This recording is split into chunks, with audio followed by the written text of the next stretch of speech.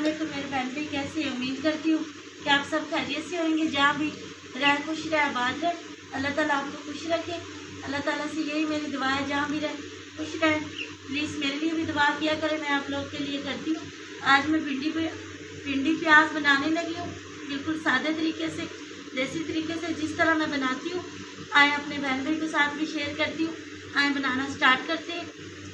आँच मैंने चूल्हे पे जला दी है। कढ़ाई ऊपर रख दी, कढ़ाई का पानी का अच्छी तरीके से हो गया। अब इसमें हम घी डालेंगे। आपकी मर्ज़ी, आप ऑयल डालें, घी डालें जिसको बिस्मिल्लाह थोड़ा सा डालेंगे हांडी जितना डालेंगे, ज़्यादा नहीं। इसलिए कम डाला कि मेरी भिंडी ना तकरीबन आधा किलो है। आधा किलो भिंडी की मैं आपको बता रही हूँ। अगर आप ज़्यादा बनाना चाहते हैं तो आप ज़्यादा घी वगैरह तेल डाल। लें घी थोड़ा गर्म होता है, फिर आगे हम भिंडी डालेंगे। ये देखिए भिंडी मैंने काट के पास रख ली है।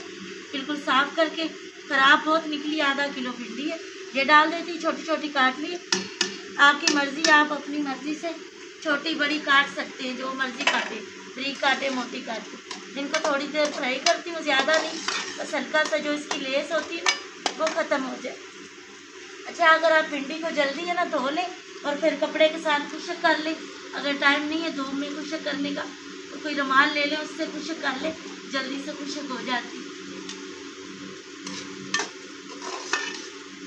भिंडी हमारी हल्की सी हो गई है फ्राई, जिस तरह की हमने करनी सी मतलब लेस सी ख़त्म हो जाए, वो हो गई ख़त्म। अब ये मेरे पास पाउडर मिसाले आधा चम्मच हल्दी, आधा चम्मच लाल मिर्च का पाउडर और एक चम्मच नमक है चाय वाला। आपकी मर्ज़ी, कम ज़्यादा कर सकती अच्छी तरीके डाल के मिक्स करती हूँ। मसाले हमारे अच्छी तरीके भूनेंगे घी में। वो मिर्चें वगैरह कच्ची नहीं रहती। ये मेरे पास हरी मिर्ची है, दस बारह। इनको भी मैंने काट लिया। इसलिए मैंने लाल मिर्च कम डाली है, क्योंकि इसमें हरी मिर्चें भी होती है ना। भिंडी में हरी मिर्चें अच्छी लगती है, मज़े की लगती है। इस तरह मिसाले डालती जाऊँगी चीज़ें और साथ साथ चम्मच हिलाती जाऊँगी। आप इस तरह ज़रूर ट्राई करना। सादे तरीके से बड़ी मज़े की बनती है और फटाफट बन जाती है। ये मेरे पास टमाटर है, बड़े खूबसूरत से। दो टमाटर है। ज़्यादा नहीं डाले। तो टमाटर बिस्मिल्लाह रहमान रहा। हाथ मेरे बिल्कुल साफ़ है, इसलिए मैंने हाथों से डाले। कोई भी चीज़ ज़्यादा ना किया करें, अच्छी तरीके बर्तनों को साफ़ किया करें। देखिए माशाल्लाह कितना प्यारा कितना कलर लग रहा है। इतना मज़े का रेड, ग्रीन, बड़ा मज़े का लग रहा है। ये हल्के से मुझाते ऐसे नरम से होते हैं टमाटर फिर हम प्याज डाल देंगे ये मेरे पास आधा किलो प्याज है। अली के बाबा को ना प्याज ज़्यादा पसंद है, इसलिए मैं प्याज ज़्यादा डाल रही हूँ। भिंडी मेरी आज काफ़ी ख़राब निकली। ये मौसम ऐसा है ना, इसलिए ख़राब निकली। इसलिए थोड़ी सी होगी। लेकिन ये काफ़ी है दो तीन लोगों के लिए। आप ज़रूर ट्राई करना। प्याज डाल देती हूँ। प्याज डाल के अच्छी तरीके मिक्स करूँगी मसाले वगैरह और हम दम लगा देंगे। ये दस पंद्रह मिनट में ही हो जाती है। इस तरह फटाफट हो जाती है। अगर वो पहले भिंडी फ्राई करें, फिर प्याज, वो बहुत देर लगती है।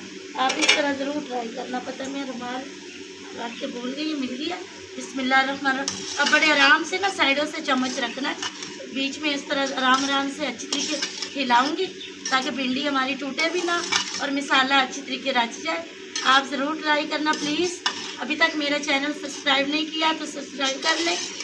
बेल का बटन दबा लें, ताकि इस तरह की अच्छी अच्छी वीडियो आप तक पहुँच सके। प्लीज़ मेरे चैनल आगे शेयर करें।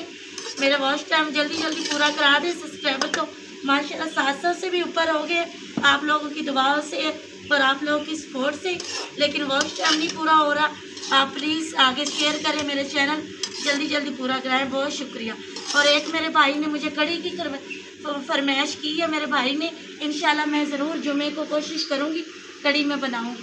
कड़ी बना के इंशाल्लाह वीडियो दूँगी। कल तो मैं चीज़ें वगैरह लूँगी। परसों मैं इंशाल्लाह कड़ी की वीडियो दूँगी ज़रूर।